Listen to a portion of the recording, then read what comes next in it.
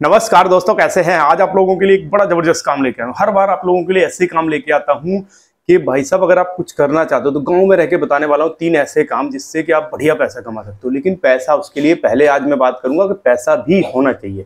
अगर पैसे हैं तब आप उन पैसे को एक बार लगा दीजिए बार बार आपको कुछ करने की ज़रूरत नहीं पड़ेगी। थोड़ा सा इन्वेस्टमेंट कर लीजिए, अगर आपके पास दो तीन चीज़ें बताऊँगा, जो चीज़ आपके पास, अगर पैसे हो, कुछ ज़मीन आपके पास पड़ी हो, या फिर जो भी हो, साधन हो, उनसे बताऊँगा आप कैसे उनको एक बार ऐसी जगह पर लगा दीजिए जहाँ से आपको रेगुलर पैसा आता रहे।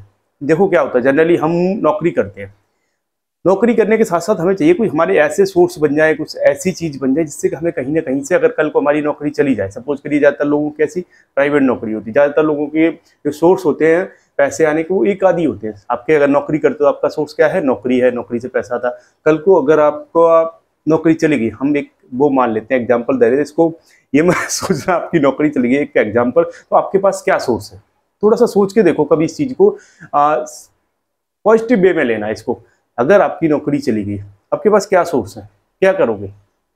इसके लिए आपको जब आप नौकरी कर रहे हो, जब आपके पास पैसे हैं, उस टाइम कुछ ऐसे साधन बनाओ, कुछ ऐसे सोर्स बनाओ, जिससे कि आपको कहीं ना कहीं से थोड़ा बहुत बेशक थोड़ा थोड़ा अगर पैसा आता रहे, जो आपको बाद में काम करे, आपके लिए काम करे, आपको मेहनत करने की ज़रूरत ना पड़े जैसे जैसे आपकी एज बढ़ती जाएगी, आपके खर्चे बढ़ते जाएँगे। आपको पता होगा कि अगर आप अभी ट्वेंटी फाइव के हो, अगर आपकी अभी अर्ली एज है, आपने अभी अभी जॉब स्टार्ट करी है ठीक है तो आपके खर्चे कम होंगे धीरे धीरे आपके शादी होगी, बच्चे होंगे फैमिली बढ़ेगी, बच्चे पढ़ेंगे तो धीरे धीरे करके आपके खर्चे बढ़ जाते हैं। एक स्टेज ऐसी आ जाती है, तीस साल के बाद, कम से कम पैंतालीस साल तक या पचास साल तक।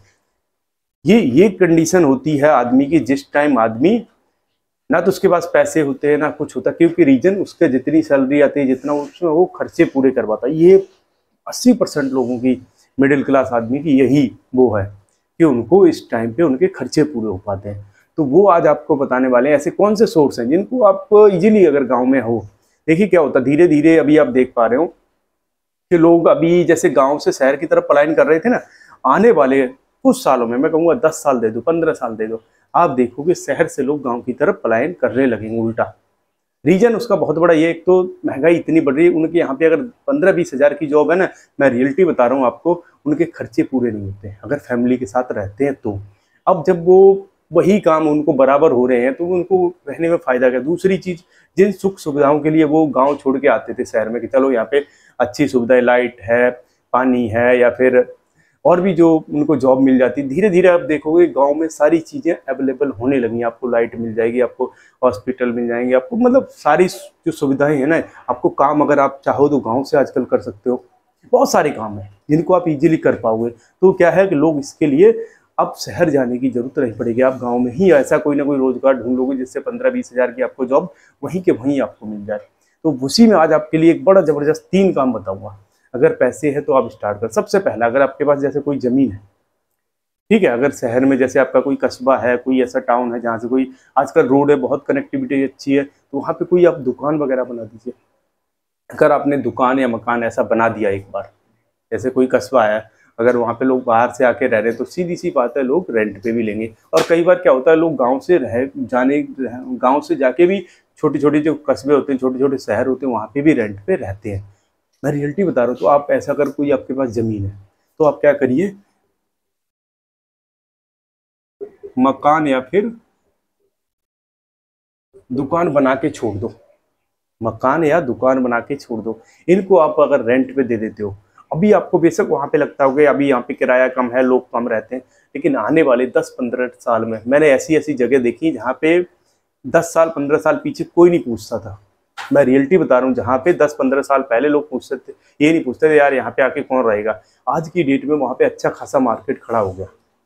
हकीकत बता रहा हूँ, और यही आपको फ़र्क देखने को मिल जाएगा पंद्रह से बीस साल में, जहाँ भी आप रहते हो। आपके आसपास छोटा मोटा कोई भी कस्बा हो, अभी वहाँ पे आप कुछ ना कुछ काम कर दीजिए, आपको दस पंद्रह साल में बहुत ज़्यादा इसकी वैल्यू मिलने वाली है। और टाइम लगता है, कहीं आप ये सोच रहे हो, आप ये कि यार, पता नहीं ऐसा होगा नहीं, होगा डेफिनेटली होगा इसका रीज़न बहुत बड़ा ये है, क्योंकि पब्लिक बढ़ रही है। और जब लोग बढ़ेंगे तो उनको रहने के लिए घर भी चाहिए, अगर कुछ काम करेंगे तो दुकान भी चाहिए, सब कुछ चाहिए। आपको बेशक अभी वहाँ पे किराया आपका हज़ार, दो हज़ार, तीन हज़ार हो, कोई बात नहीं, लेकिन आने वाले टाइम में ये बढ़ भी जाएगा और दुकानें मिलना भी मुश्किल हो जाएगा, सौ परसेंट ऐसा। तो आप इसको ट्राई कर सकते हो, अगर आपके पास जगह और थोड़ा सा पैसा है तो। एक बार लगा दो, सौ साल तक यहाँ से आपको बिना आपके इन्वॉल्वमेंट के आपका पैसा रेगुलर आता रहेगा। मैं हकीकत बता रहा हूँ जहाँ भी आपको, आपने देखा होगा शहरों में बहुत सारे मकान मालिक ऐसे मिल जाएँगे, अगर किराए पे रहते हो तो वो कुछ जॉब करते हैं। आपने देखा होगा, अगर आप कहीं किराए पे रहते हो तो आप मुझे कमेंट करके बताइए, कुछ जॉब नहीं करते। जिनके किराए का लाख, दो लाख, तीन लाख, किसी का दस लाख, ऐसे एक रेंट आ रहा महीने का, और वो मौज कर रहे हैं। और ये कंडीशन आपकी भी हो सकती है, अगर आप कुछ दिन अभी इन्वेस्टमेंट करना चालू कर दोगे तो। आने वाले टाइम में हर जगह आपको भीड़ मिलेगी, और हर जगह हर चीज़ पॉसिबल होगी। आप इसको भूल जाओगे, आप सोचते होगे कि आपके एरिया में ऐसा पता नहीं कब होगा, कितने दिन में होगा। टाइम लग सकता है, लेकिन धीरे धीरे करके ज़रूर होगा। तो आप इसको ट्राई कर सकते हो, बहुत बेटर और बहुत अब मैं बात करूँगा नंबर दो की। नंबर दो की बात करूँ, जैसे आप, अगर आपके पास थोड़े से पैसे हैं, आप एक सैलून खोल के दे दो। आपने एक बार बढ़िया सा सैलून सैलून का मतलब ये है कि अच्छी क्वालिटी का, जो आपके आसपास के शहर में ना हो, जो आपके आसपास के कस्बे में ना हो। क्योंकि अभी जनरली क्या होता है, आप अगर छोटे शहर में तो वहाँ छोटे मोटे सैलून होते हैं।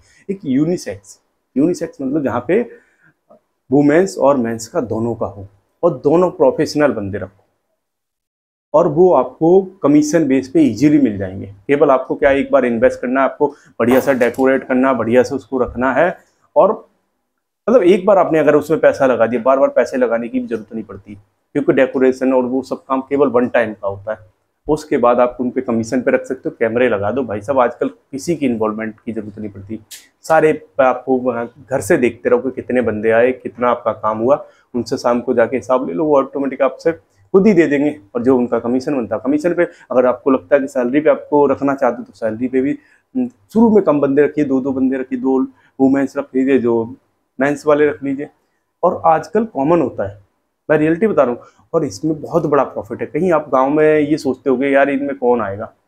हकीकत बताओ सबसे ज़्यादा दिमाग में हमारे यही आता है, यार, सैलून में कौन आएगा गाँव में? लेकिन आप अगर देखोगे ना, शहरों में ये बहुत बड़ा बिज़नेस है। रियलिटी बताओ एक बड़े बड़े सोशल मीडिया पे तो लोगों ने, यार, इतने सैलून खोल के इतना पैसा कमाया। और यहाँ से सबसे बड़ा पैसा पता है कहाँ से और आता है?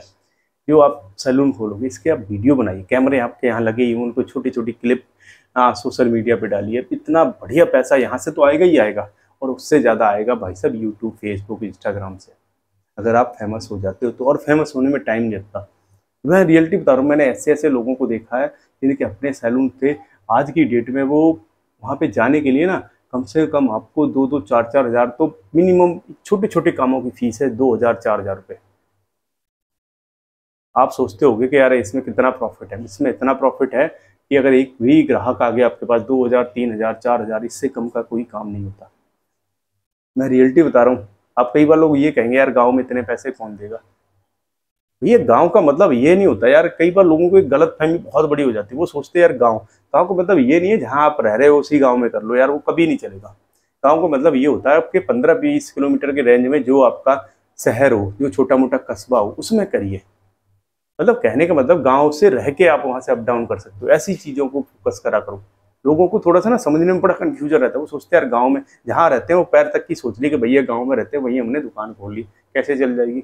मैं बात करता हूँ, गाँव का मतलब होता है जहाँ से आप सुबह शाम अप डाउन कर सको, चाहे वो बीस किलोमीटर हो, तीस किलोमीटर हो, दस किलोमीटर हो, आपके आसपास का जो शहर हो, जो थोड़ा ठीक ठाक शहर हो, आप उसमें ये काम करिए। क्योंकि वहाँ सक्सेस होने के चांस इसलिए ज़्यादा हैं, क्योंकि वहाँ ये चीज़ें अभी अवेलेबल कम है। नहीं तो आप देखते रह जाओगे, आपकी जगह कोई और खोल लेगा और डेफिनेटली खोल लेगा। मैं सही बता रहा हूँ। आपको लग रहा होगा कि ऐसा पॉसिबल नहीं है, लेकिन आपकी जगह कोई और खोल लेगा। और आप देखते रहे, आप कहोगे, यार, ये तो मैं सोच ही रहा था। आप सोचते रहोगे, लेकिन तब तक कोई ना कोई वहाँ पे ये काम कर लेगा। तो ये एक बहुत अच्छा और बहुत बढ़िया काम। अब मैं बात करूँगा नंबर तीन। नंबर तीन की बात करूँ, ये भी एक बड़ा ज़बरदस्त काम है। इसमें भी थोड़ा सा इन्वेस्टमेंट है।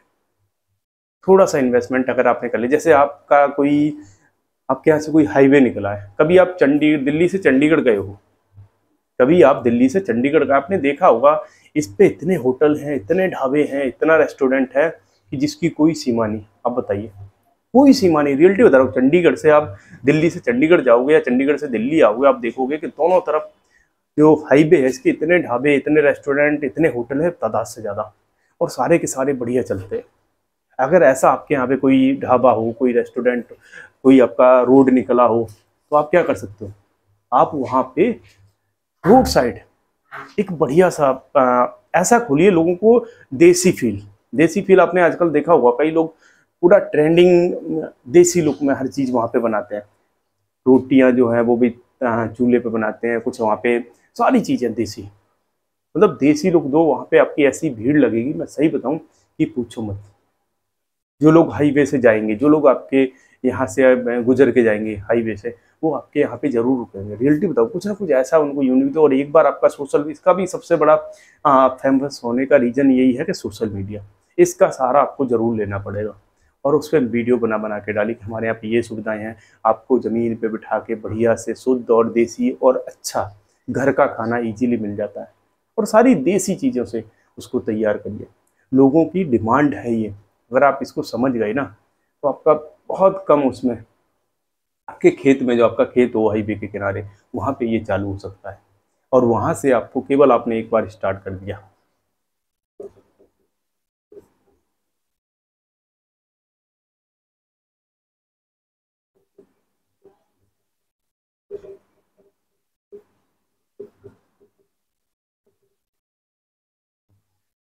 रोड साइड होटल या ढाबा, वो भी देसी लुक वाला। जिसमें पूरी देसी फील आनी चाहिए। जो भी वहाँ पे बैठने के लिए चेयर हो, उसको आप कोशिश करिए कि ज़मीन पे बैठा के जो टेबल होते हैं ना, आप सोशल मीडिया पे ये सारी चीज़ें देख पा रहे होंगे। बहुत सारे लोग आप वहाँ से आप वीडियो देखिए। ऐसा देने की प्रेजेंट करने की कोशिश करो कि बिल्कुल उनको जो शहर से लोग आते हैं उनको लगे कि हाँ हम गाँव में आ गए। अच्छे से पेड़ लगाइए पूरे उसमें स्पेस दीजिए, बढ़िया से छाया ऐसी दीजिए। मतलब ऐसे पेड़ लगाओ जिनसे लोगों को लगे, उसी के बीच में टेबल डालिए मतलब पूरा देसी लोग दे दो। और वहाँ पे शुद्ध और देसी खाना बना के वो उनको प्रेजेंट करिए। आप देखोगे वो पैसे भी अच्छे देंगे और आपके वहाँ पे भीड़ भी बहुत लगे ये कॉन्सेप्ट बहुत ज़बरदस्त चलता है। आपने अगर नहीं देखा होगा तो आपको लग रहा होगा, पता नहीं क्या है ये। लेकिन अगर आपने देखा होगा तो मेरी बात को अगर पूरी तरह आप समझ पा रहे होंगे। कई सारे लोगों ने स्टार्ट किया। मैंने सोशल मीडिया पर बहुत ज़्यादा देखा। और लोग वहाँ पर जाते भी बहुत हैं। क्योंकि लोगों को चाहिए यार, शोर क्योंकि जो सारी चीज़ें हैं ना, आप सोचते रहो रेस्टोरेंट खोलोगे रेस्टोरेंट तो उनको शहर में भी अवेलेबल है। वो कुछ अलग चीज़ लेना चाहते हैं, वो गाँव में लोग क्यों जाते हैं? शहर से गाँव में इसलिए जाते हैं, कुछ महसूस कर सके गाँव में, कुछ वहाँ पे शुद्ध और उसको अच्छा खाने को मिले। इसीलिए वही फील अगर आप उनको वहाँ दे दोगे तो वो डेफिनेटली आपके यहाँ आएँगे और पूरी फैमिली के साथ आते कोई एक एक दो दो बंदे नहीं आते। अगर दिन में आपके दो चार फैमिली भी आ गई ना, तब भी आपका अच्छा खासा काम चल जाएगा। और एक बार अगर आप फ़ेमस हो गए आपके यहाँ पे कस्टमरों की लाइन लग जाएगी रियलिटी बता रहा हूँ तो ये काम बहुत अच्छा और बहुत ज़बरदस्त इसको भी आप ट्राई कर सकते हो अगर आपके पास थोड़ा सा पैसा है। क्योंकि आज मैंने जो बताने की कोशिश की वो करा कि अगर आपके पास इन्वेस्टमेंट करने के लिए है तो ये है क्या है, यहाँ पे आपको कोई, आपकी इन्वॉल्वमेंट नहीं होगी। आपने एक बार पैसा लगा दिया, चालू कर दिया, आप फिर इजीली उनको करते रहोगे। मैं रियलिटी बता रहा हूँ, फिर आपका इजीली चलता रहेगा। आपको बस एक बार इन सब चीज़ों में पैसा लगाना, बंदे एक दो रख दो ऑटोमेटिक वहाँ से अब वो अपनी सैलरी तो निकालेंगे आपको वहाँ से प्रॉफिट देंगे।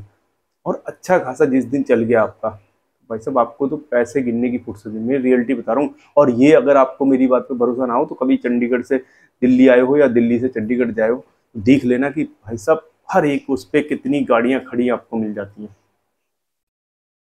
हर एक होटल के बाहर इतनी गाड़ियाँ खड़ी रहती है कि आप खुद ही काउंट करोगे कि यार वाकई में कैसे ढाबे और कैसे रेस्टोरेंट उनके होटल चलते हैं। इसलिए मैं आपको बता रहा हूँ, क्योंकि मैं उधर गया हूँ, मैंने कई बार देखा है, कई बार वहाँ से मैंने खाना खाया, इसलिए आपको ये चीज़ बता रहा हूँ। और आप अगर देसी लुक दोगे, उसमें और भी एक अलग ट्रेंड रहेगा। वीडियो कैसा लगा, मुझे कमेंट करिए, नए हो तो सब्सक्राइब ज़रूर कर लेना। ऐसे ही बढ़िया बढ़िया और अच्छी वीडियो आप लोगों के लिए लेकर आता हूँ, नया चैनल है, थोड़ा सा सपोर्ट करो, आपको बढ़िया बढ़िया और अच्छी चीज़ें बताऊँगा। अच्छे वीडियो देखने के लिए हमारे साथ जुड़ जाइए चैनल को लाइक और सब्सक्राइब कर लेना, जिससे कि नया वीडियो आपको टाइम से मिल जाए और नोटी जो घंटी वाला बटन है, वो भी दबा लेना जिससे कि आपको वीडियो की नोटिफिकेशन मिल जाए। कोई भी वीडियो मिस ना हो। देखने के लिए बहुत बहुत धन्यवाद। जय हिंद।